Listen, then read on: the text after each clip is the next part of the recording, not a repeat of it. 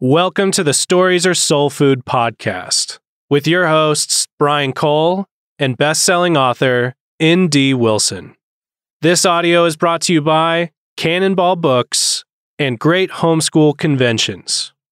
Great Homeschool Conventions are the homeschooling events of the year, offering outstanding speakers, hundreds of workshops on today's top parenting and homeschooling topics, and the largest homeschool curriculum exhibit halls in the United States of America.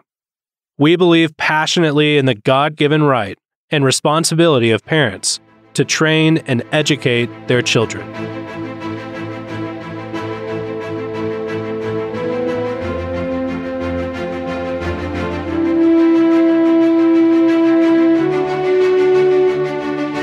Today we're talking we're changing things up a little bit to talk about Are some some inhuman characters. We're specifically talking about one story that's become very famous.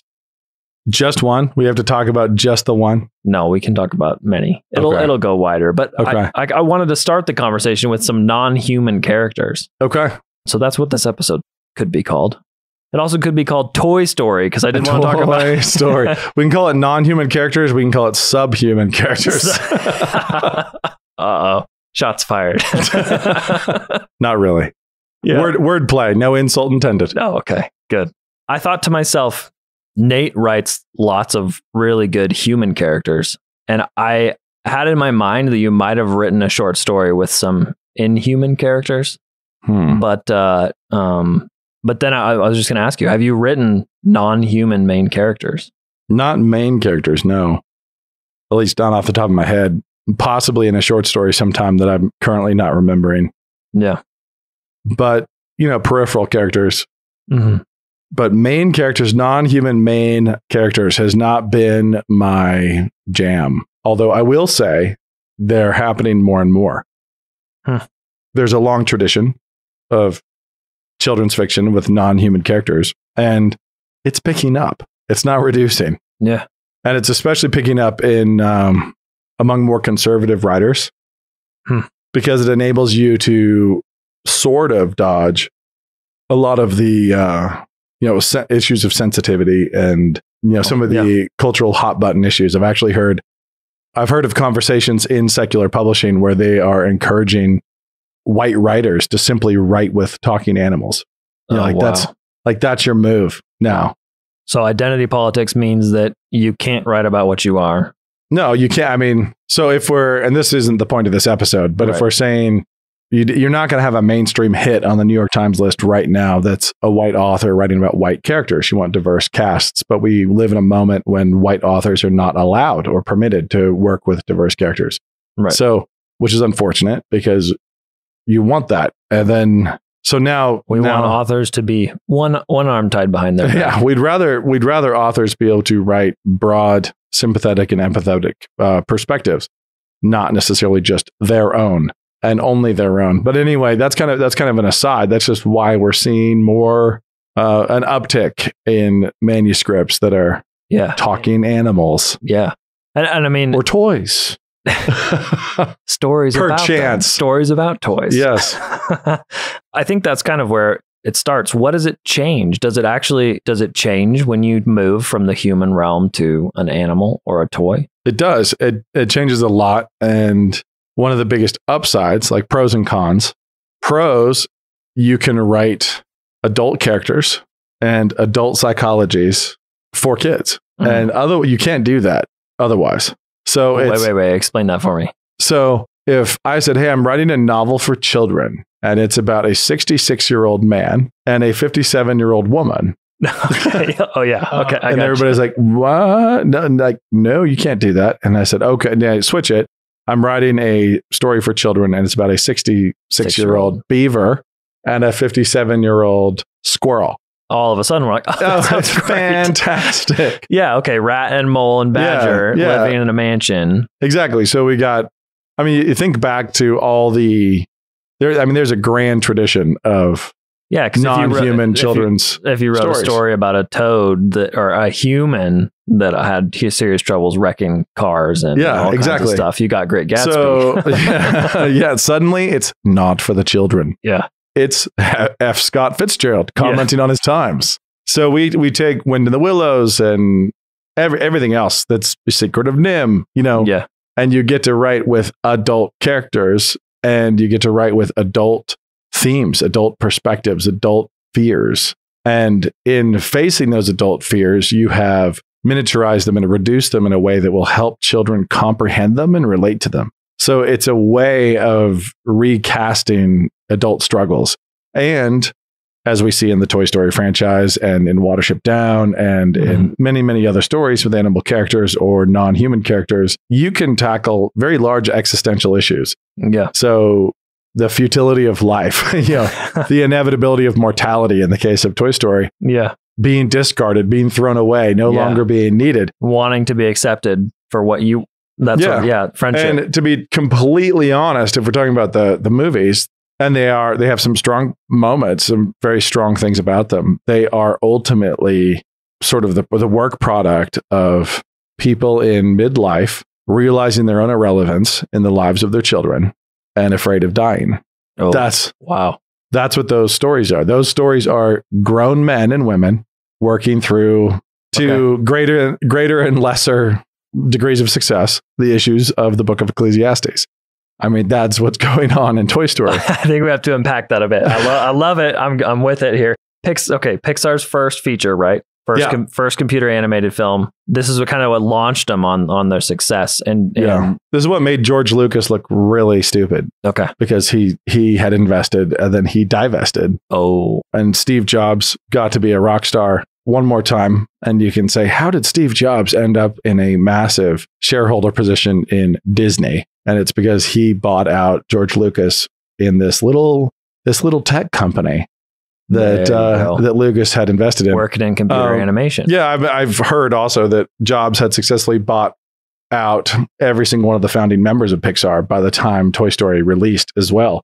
So anyway, that's a that's a totally different story. Lessons for a different podcast on business. Um, business and the arts, but uh, yeah, because that was like a, a thirty million dollar investment with a four hundred. oh, they were deep. They were they were deep, much deeper in it. okay. So that's just the numbers on the surface, but the four hundred million dollar payoff. the thing that was enormous, much bigger than that, was the acquisition by Disney of Pixar. And that came with a board seat and Disney shares and lots of things like that, which Jobs received. Anyway, yeah, okay. but to the story at the outset, it's not about it's not about futility yet. You know, in the in the first movie, we have issues of destruction. We have Sid, A great you know, we're a great character. We have cruelty to toys. We have popularity. yeah, the tension between Yeah, issues of being Buzz loved, making a new friend, learning how to make new friends, you know, all that, all that kind of stuff. And then just the joy of watching toys be alive. yeah, and a, So- commu- a community of toys is a pretty fun. Yeah, it gives you fun there's a ton of potential, and it also taps into wish fulfillment in a major way. And so Oh yeah, that's big. the wish fulfillment for kids to think of their toys as living and having lives apart from them when they're out of the room is Yeah, uh, is pretty fun, especially when those toys are consumed with love for that child when that when that child is out of the room. But they um, only think about you and Yeah. want you to come play with them. yeah. So Toy Story 1 was, you know, really great and basic, but it also focused in on human, like adult human issues yeah, that it then relates to children because it's happening through this cowboy toy or this space toy. And it's, you know, they're not unique to adulthood, but they're definitely themes that are not unique to childhood either. yeah. Well, the fundamental backdrop of it is that idea of growing up, Yep. which which is not how children think about themselves. At least I don't think. No, and the toys, kids actually, I will say, obsess about growing up. Yeah, but Okay. not not in a not not the way that. not in an accurate way. Right. they obsess about growing up just in the idea of being bigger. I'm big enough. Right, I'm to the- do this, yeah. yeah, getting meaning like you're constantly getting tall enough for the next ride as Yeah. a child. Right. As opposed to that sense, it, it does feel like Toy Story has from the beginning that idea of loss accompanied with accompanied with aging. Yeah, look at Andy written on the bottom of your boot. Yeah. And can a kid relate to that? That's that's the adults right there. Right. You know, which is why Toy Story was so successful. Well, the merch And- is so good too because Yep. the adults. But it crossed it crossed demographics and was a huge four quadrant hit, obviously, and built the brand. But if we look at the lessons of why tell stories or why read your kids' stories or watch stories with non human characters, it is because there can be themes that can be explored and addressed differently because your main characters are suddenly adults in costumes. There you go. So, adults in a spaceman suit or adults as a bunny rabbit, adults as a toad, Right. instead of just an adult. So Yeah. you write a Wodehouse novel and it's for grown-ups. You make all those characters animals and it's for kids. Mm. You know, and and basically the same stuff could happen. you know, it's like it's so the Code of the Woosters rewritten with rodents is a children's novel. is Wind in the Willows of some sort. Yeah. Right. I Yeah. think, yeah. And who knows? The real the real question is uh who the Empress of Blandings is, the pig, the Mm. giant pig. How do you then turn the pig into something else? Does the pig become human? no, now it's a Orwellian story or something. Anyway, so when you tackle stories or you read your kids' stories or let them read or watch stories with non human characters, you are fundamentally allowing them to look at life through an adult lens, but it's an adult lens in costume. See, this is why I have you on here because I I got that totally backwards when I was thinking about this. I was thinking it seems like that doesn't change much between the characters. You know, you still have Yeah. you still have the same sorts of emotions. You've just put them in a different body shape. But I see now you it is really about what you're allowed to talk about. It is, yes, what you're allowed to talk about, what you're allowed to address. And then one, and then a major thing, an additional thing is the fact that it enables you to have an adventure without actual grown-ups. So Yeah. you have, um, I think you've talked about that before, like C.S. Lewis during the Yeah. war. Yeah. yeah, so you ha- you get rid of grown-ups because either you are in a Roald Dahl situation where adults are all evil, and you read a lot of his books, and you have awful parents or guardians. We see this with Harry Potter also, where it's you know it's like the Dursleys are just the worst. Yeah. Uh, the grown-up guardians in Harry's life are just abominable. To be avoided and worked Yeah. around at every chance. So then you you watch Toy Story, you look at that kind of you diagnose that story and you think, okay, so this this is a story about grown-ups who are subordinate to a child and who are having their own adventure. You know, but they're miniature and they're toys and their toys. So it's, so it's not and weird. it's and it's funny and it's funny and it's great and we love it but it it enables you to have them take off and jump out the windows and venture out and and push their own limits which are arbitrary because they're the limits of toys not the limits of adults or children Mhm. but they're all grown-ups with grown-up psychology and conversation and verbal skills and everything else it's all very grown up we have characters who are married with the potato heads we have yeah. you know, Bo Peep and Woody. We've got this uh, two macho men resenting each other, uh, along with the delusion of Buzz.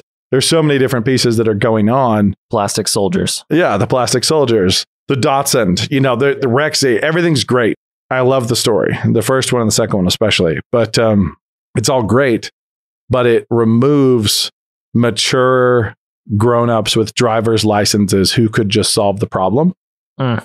from the picture, but gives you mature grown-up verbal skills and intellect and you know emotional baggage, and then lets kids process it all. Some depth and some thematic difference. Yeah.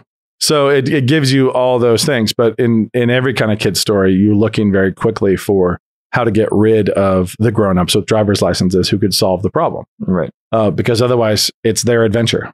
So Mhm.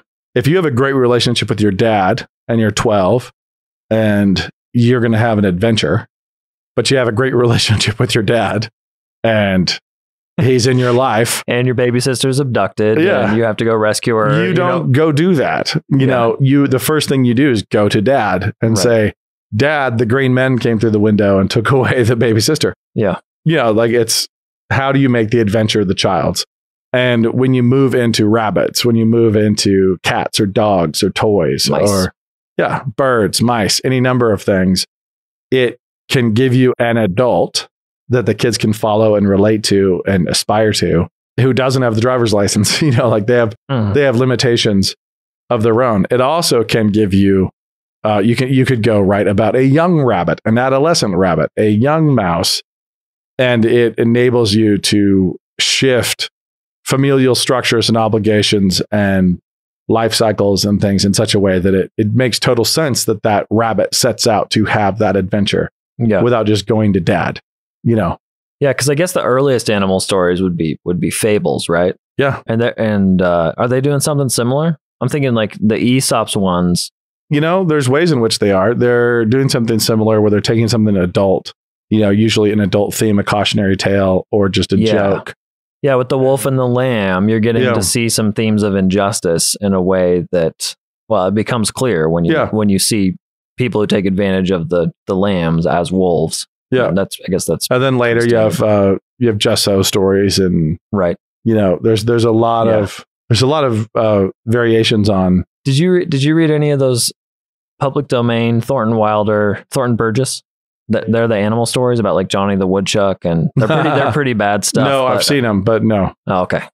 never never got into them i did read a ton of jungle doctor Oh, me too. so much jungle doctor that I highly I've been trying to find that for the kids. I need to yeah so and then when you have little little stories that are functionally like little parables about you know Mhm. monkeys trying to pull nuts out of jars or whatever yeah cross the river yeah exactly without getting eaten. so it's they're they're great but um if you did that with kids Ooh, like- they, don't always end well. yeah so here are two children and they're going to cross the river without getting eaten we'll see which one succeeds bob and, You know. and from that, we'll draw an obvious moral lesson for the rest of your life. Obey your parents. yeah, yes yeah, okay. So the whole point is any kind of sleight of hand, any kind of like one motion of the walnut shell, moving the sympathy and loyalty of the reader, of the listener, uh, or the viewer in Mhm. into a non-adult, adult, or a or a kid, but a kid without the social structures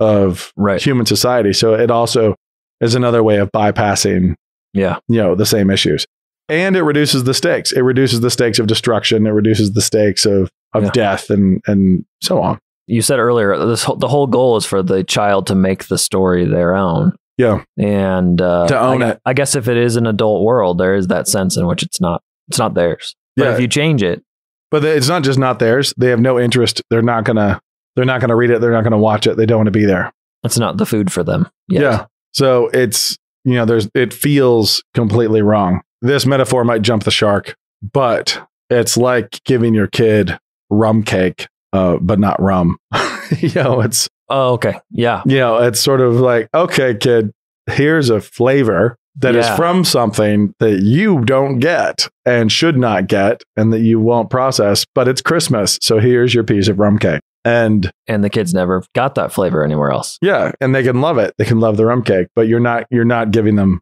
the rum. You know, that's just I think that's kind of the way it works. Hmm. So I'll take this flavor, this theme, this thing that is heavy and adult, and I will make it fluffy and fun and childish. Hmm. And it's still recognizably of that flavor. So Okay. Wow.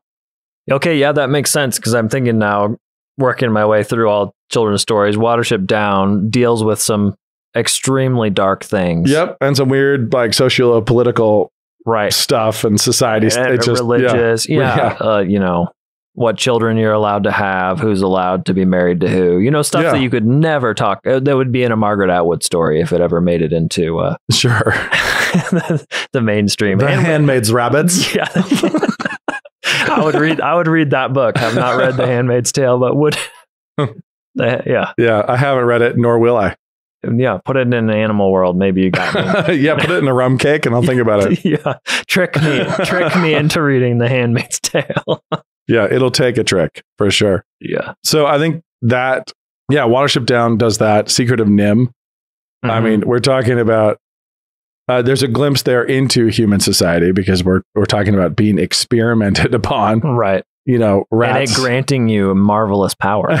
right. Abs- Absolutely. Things things like the borrowers. Did you ever read the borrowers? yeah, I did. Yeah. I love the borrowers. Me like too. it, it what a cool just, idea. Little people in your walls. yeah, it just lit up my imagination. Um, so it's humanoid, but definitely not human. Right. And even the adult characters are totally relatable for a young kid Right. for that for that reason. Man, the scene of them fighting the rats in the, the walls. whew, That's the, that's scarier than anything when Yep. you're when you're eight. then uh, what? Stuart Little too. Yeah. Stuart Stuart Little. The man, I wanted that motorcycle. Oh, so cool. The ship when they get stuck in the bag on the pond in the storm and, and they're trying to cut his way out of a bag. Yeah, That's real as real as any Robinson Crusoe storm. and of me. course we have things like Tale of Despereaux, and there's I mean there's just Yeah. there's newer ones and older ones, and they can be they can be very heavy. I mean they can Yeah. have rum, they can have the heavy adult themes. It's just now in a cake. I think that's a helpful way of explaining it because we have Stuart Little in some of our curriculum and people always complain about it. They complain about why does the human family have a mouse child? That's what they complain about. And don't you? no, I accept it. No, I mean, don't you have a mouse child? oh yeah, exactly. Doesn't every right. every family have a mouse child? I'm gonna I'm gonna ask them that. I think they're just missing the point. Obviously, Right. not really. It doesn't take that Yes. much. Suspend the disbelief. if you don't, the story doesn't work. why do they have a mouse child, and why would they think to give him a ping pong motorcycle helmet, a ping pong ball? Yeah, it's it's pretty funny. Yeah. So there, and there's a, a broad spectrum where that's basically farcical, but still tackles big issues. Yeah. And then Watership Down is the example that we'll come back to a lot, where it tackles like legitimately heavy, Yeah. heavy social issues. Yeah. and I think does so brilliantly. And they're actually they're working on a, friend of mine is working on a graphic novel of Watership Down right now. Mm. Yeah, Joe Sutphin is involved, and I think it's gonna be amazing. I think he's I think he's perfect for it. the it. art looks great. But so it's um I'm really curious how it comes across. You know Yeah. what the the impact like whether it will impact young readers in the same way that the actual prose does. Because I know exactly what a what Watership Down does to a fifth grader. I don't know what. pictures of. Yeah, pictures of Watership Down. Did you watch the Netflix version of it? I can tell you that I started it, Yeah, it and I didn't, it just work. wasn't. It didn't work. Just was not drawn in. So We, I think I don't. We didn't finish it, but we did make it a couple in. I think it might have just been animation issues for me, but I. yeah, poss- yeah, But uh, that's that an interesting question. that could have contributed. We'll look forward to to checking it out. So I mean, you, you bounce through, and we we started off with Pixar, and you say, okay, Toy Story, Toy Story Two, we do the same thing. What's going on in Finding Nemo? It's like, well, we have obvious, like significant adult themes here, Mhm. and it's not an accident that we spend most of our time uh, in the A in the A story with the dad. Yeah. So the A story there is Marlin trying to find his son. hmm His son is in a, a funny little comical setting Right. Uh, it's, it's the fun and games section Yeah. of the script. Yeah, is he's in the funny dentist office meeting Right. the funny characters. You're yelling bubbles, or Yeah. you know, it's like swim through the the the bubbles of Mount Wannahockaloogie. Shark bait, ooh ha ha. There's a lot of uh, there's a lot of great stuff in there, but we're following. The, we're yeah, we're Darla. we are following the dad, yeah. but he's not a dad. He is a dad. These are dad themes. This is the rum and the rum cake. Yeah. except for no child looks at him and thinks that's a grown man who is a father because it's a useless clownfish struggling to make sense of Dory. and he can't tell jokes. Yeah, yes. He's not funny. And we you, you look at that and you bounce around, you look at which ones worked and which ones didn't work. You have cars that didn't work uh, as a story but worked massively as a merchandise commercial. Mm. So cars might have made more money Yeah. than almost any of them at this point and is one of the Is that is that true? yep and is It One of the, isn't as uh, good a movie No, it's not. But it, Yeah. it, it, you know, kids love it because it's fun. because it's got eyes. Eyes, on, Yeah, eyes on the cars. yeah. And you, but if you bounce through these and you you think about which ones were strong and which ones were weak, Yeah. and up is weak and inside out is weak. Mhm. Uh, but you go backward and you look at the things they did early. Mhm. You know, Monsters Incorporated. Yeah. Okay, is this about Boo? No, this the whole movie is not about the kid. Yeah. It's about two grown men, yeah. but they're in costume Right. and it's also two grown men in a corporate contest. Like they're, the, the the test, the pressure is all how well they perform at work, and you know rivalries and so on. It's hilarious. They don't. It's just adult, but it's a, Paperwork. But it's yeah. adult with brilliant animated fur and voice talent and humor and everything else. Yeah. Same thing with Ice Age.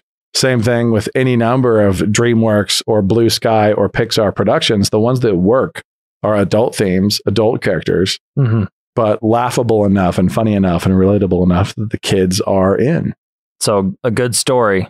Yeah, a good story, but it is full circle. I have not written, I've written plenty of like film treatments, script concepts, things like that for characters that are non human. But uh, one of my favorites is of a family of the seven deadly sins. But it's, Can you say more about that? but yeah, I will. But it's a, uh, but I think the the thing that really works is when you don't try to tackle childhood themes in animation. And when movies Oh, okay, tackle okay. childhood themes in non-human characters or in animated stories, you kind of kind of lose it. So even in in things that are you know they're not Pixar quality, but things like Despicable Me, it's Gru. It's the adult character that makes it. You know, and is there and of course the minions, the non-human right. minion characters. And that's what sucks in the kids, not the kids. Uh, and then you look at movies like Meet the Robinsons, and you're kind of like, why did this not go? Is it because it's because it's about the kid? It's just about the kid.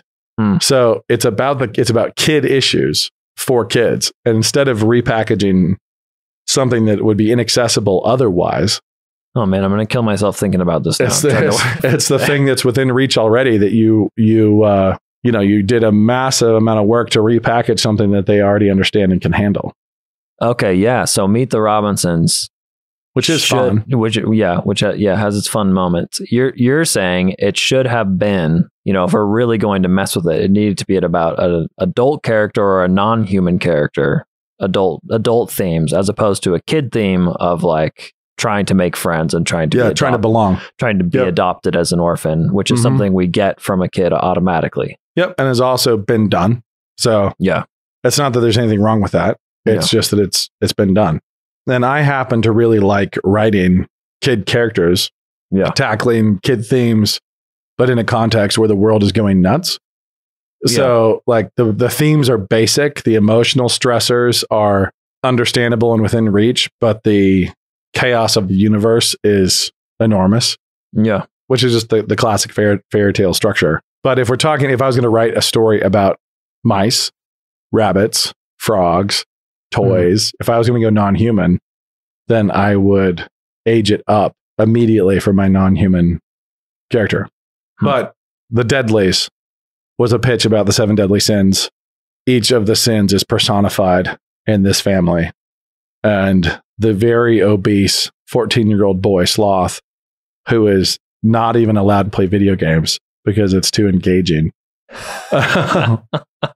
starts he reaches the age of rebellion and he starts sneaking out at night and he gets a paper route and he starts being secretly super diligent and rebelling against the vices of his family and losing weight and his parents are deeply concerned and trying to pin him down anyway Yeah. that was a uh, that was a one pitch that makes me happy Yeah. and, and really it As was should. think of it as a version of uh, West Side Story. So there's the Deadlies and the Virtues, Okay. and so there's the you know dance off battles and all sorts of things between uh, the followers of the Deadlies versus the Virtues. we'll stay tuned for that. yeah. uh, Anyway, it's not going to happen. It'll never. It'll never happen.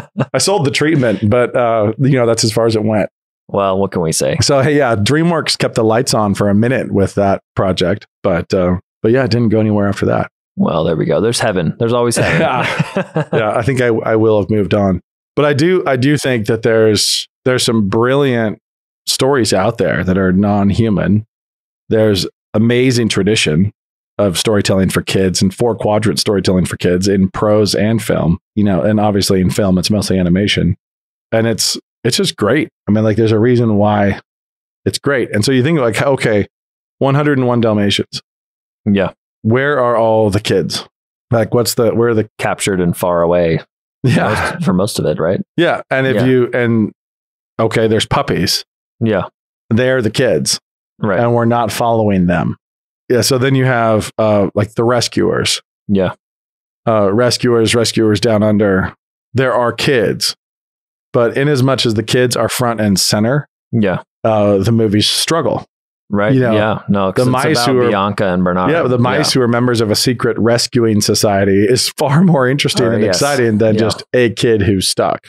So, anyway, I think all the way through, if you're going to pick a book to read your kids or a movie to watch with your kids that's non-human, be aware, like look for what the flavor is. Like what is the adult flavor here that they're going to get? Where are the conversations? What's the dialogue going to be like afterward?